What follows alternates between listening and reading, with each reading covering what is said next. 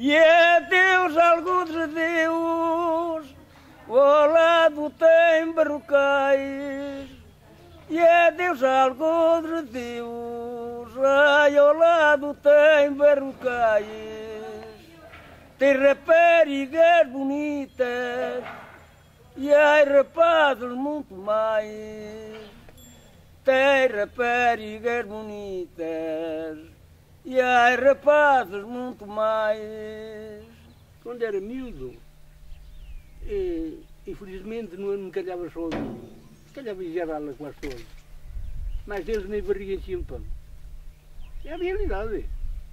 Eu tive a crise, quando foi na crise da guerra, como o Marco já se lembra,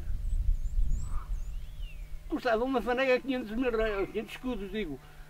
O, o dono deste prédio pagava 12 escudos e estava aos dois, três meses sem pagarem. Vê que, vê que já, já aí o povo já podia encher bem a barriga. E o que é que comia? Olha, comia alguma coivita, e alguma naviça, e, e olha, e, alguma couve, alguma naviça, e coitado, uma batitita. E poucas, naquele tempo não escolhiam poucas batatas, que as sementes não prestavam. E os seus pais trabalhavam onde? Meus pais, nós trabalhávamos numa quinta aqui para cima. Estive lá, meu pai, 24 anos, e eu depois, eu e o irmão meu, estamos lá 12. E depois comprou um irmão meu. E andou, andou na escola? Não, nunca aprendi a porta. E já tinha 16 anos, andava-se calço. E o que é que fazia com 16 anos? Eu guardava as folhas, andava a labrar beijos de vaca.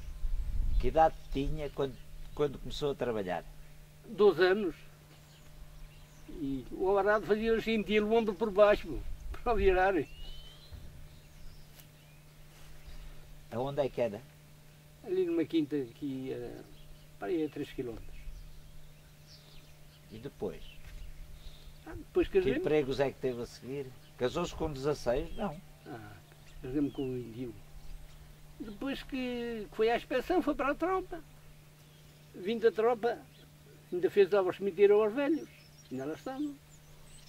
Casei-me terceiro da minha vida, olha, foi que andamos, Ficou sempre aqui a viver? sempre. Livre do tempo que estive na França. Quantos anos esteve em França? Fui lá sete. Trabalhei de mineiro, mas ar livre, não eram, não eram minas por baixo, era, era, Minas de quê? minas de pedra, De pedra. chamavam lá carreiras. Depois regressou para a aldeia.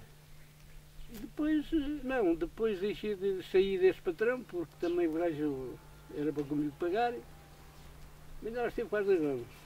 E, e depois eh, fui lá para outro patrão, depois daquele fui para a zona de Paris.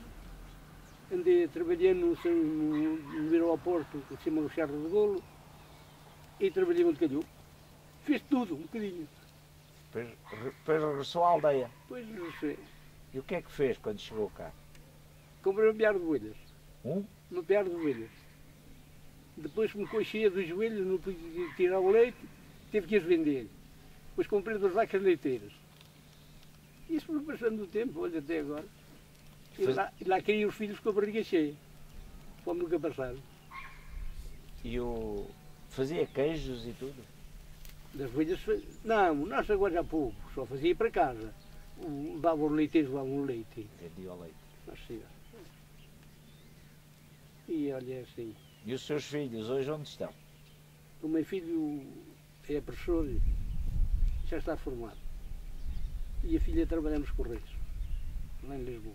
E ainda se lembra do que é que comia, assim um prato que gostava quando era menino? Às vezes comia um coelhito, porque também agarrávamos muitos. Mas minha mãe por vezes nos queria, nos queria arranjar porque não tinha azeite. O azeite era pouco. É verdade, a miséria era esta. Para que é que uma pessoa se vai estar a agradecer se não era? Se, se a, minha, a minha criação foi assim. Nunca passei fome de pão, meu senhor. Nunca. Ah, isso pão não. Lá os meus velhotes, pão. Estava sempre, estava com, carregada de pães. Isso. Agora outra coisa, olha, comíamos pão com pão. A vida mudou muito. Oxalá que, que estes novos não venham a, a acontecer o que nos aconteceu a nós. Mas olha que para nós já não. Mas para os novos não sei, da maneira que isto está a preparar. Pode ser que me engano, sei lá que sim. Aqui muitas vezes as mulheres iam buscar o pão a escalhão. Em 15 Às em vezes. 15 dias. Às vezes não. Minha mãe nunca foi. Mas havia mulheres, não era? Ai, havia, também sabia. A fome era tanta.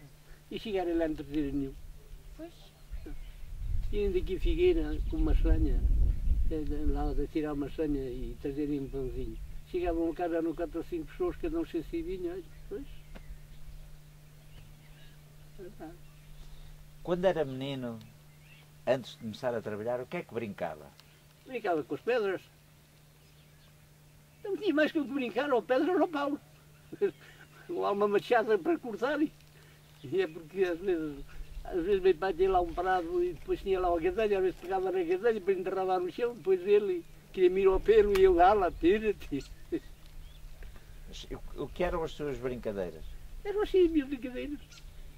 Andava atrás das bolhas, brincava sozinho, com um pau e isto, com aquilo. Vivia sozinho. Sozinho. Não, não tinha outros? Não, tinha, tinha mais irmãos, andávamos mais. E quantos Éramos, irmãos éramos, tinha? éramos seis rapazes Sei, rapaz. e uma, duas raparigas.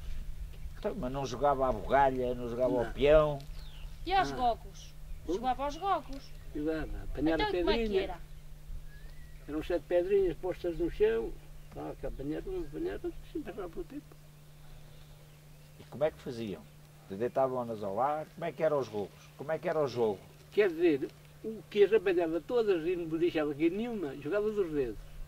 E o que deixava cair uma, não, só jogava uma vez. Era assim o contrato.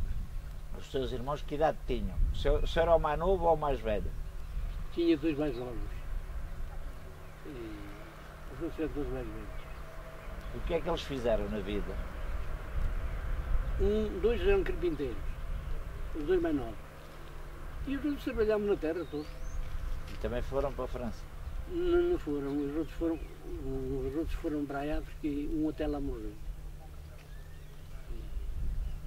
Mas para a França foi, o carpinteiro mais não foi. Teve, esteve lá uns 14 ou 15 anos. E a sua casa eh, tinha, era muita, tinha muitas divisões? Tinha casa de banho? Quantas divisões tinha? Não se lembra? Quantas divisões? Lá, Quartos, Cima salas? tem, cima tem a cozinha e três quartos e, e a sala. Mas a dos seus pais? Ah, dos meus pais. quando o senhor era menino, como é que era a casa? Lembra-se A ainda? casa, olha, era um sobrado a cair. Estava tudo cheio de garulhos. E além pé da igreja. Mas vocês não dormiam dentro de casa, os rapazes dormiam na, nos, correi, eh, nos palheiros, não era? O À rapaz beira veio dos por aqui burros. de cama. O rapaz dormia, mas palheiro das vacas. Pois. Na palha. E dormiam, ou É que, não, assim, tinha- é que assim não rompíamos a enxerga. não tinham cama, como é que vocês lhe chamavam as, as camas? Era uma tarimba. Dormiam no palheiro. Um palheiro. Era mais quente. Os rapazes, os, os rapazes no outro tempo, na minha lembrança, eram todos nos palheiros. As raparigas é que lá dormiam em casa. Agora os rapazes. oh, é. Nós dormíamos na cama, por exemplo, não estavam, meus pais não estavam cá. Não dormíamos cá embaixo, dormíamos por cima, porque estavam eles na quinta. Mas o dia que cá estávamos todos, nós íamos dormir embaixo. Íamos lá um, um apartamento fazia umas faixas de palha e só cá estender o ombro. E pronto.